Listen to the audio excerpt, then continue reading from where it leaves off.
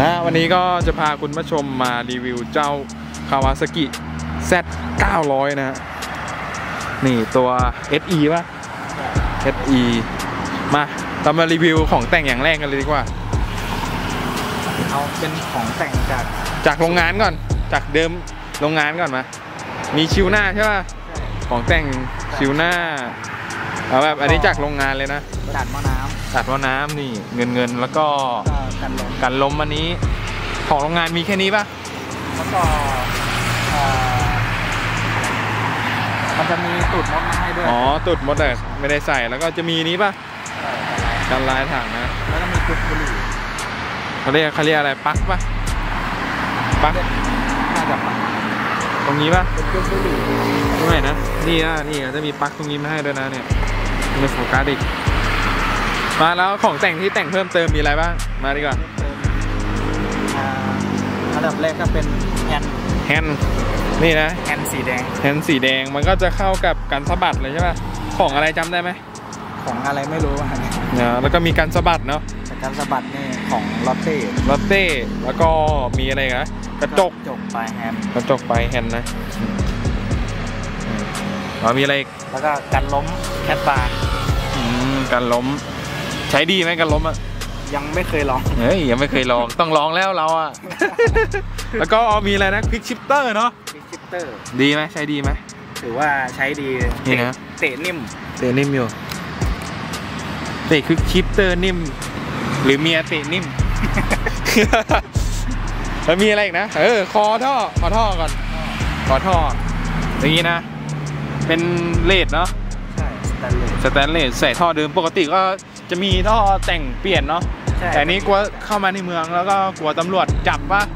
ใช่กลัวตำรวจล่อนะ ก็เลยปลอดภัไว้ก่อนปลอดภัยไว้ก่อนนะ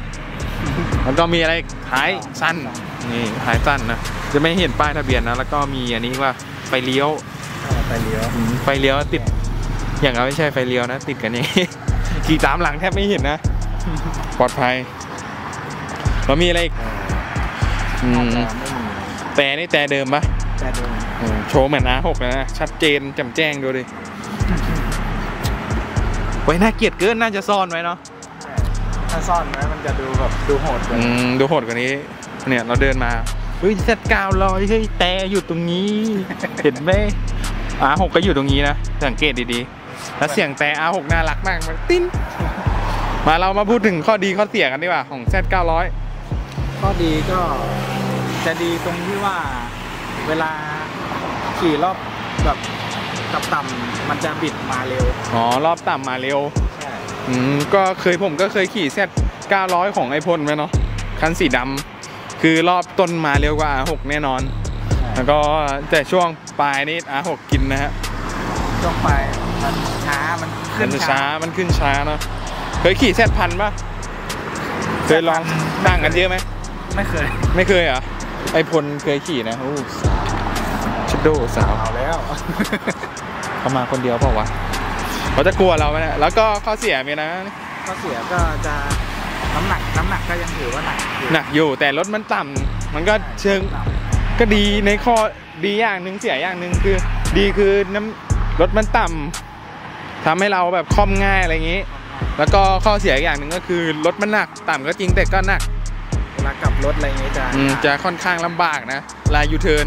แต่ก็น่าจะง่ายกว่าพวก R6 มั้งใช่เพราะ R6 วงเลี้ยวมันแคบมาก ช่วงล้อมันจะอืมช่วงล้อมันสั้นกว่า R6 กันนะ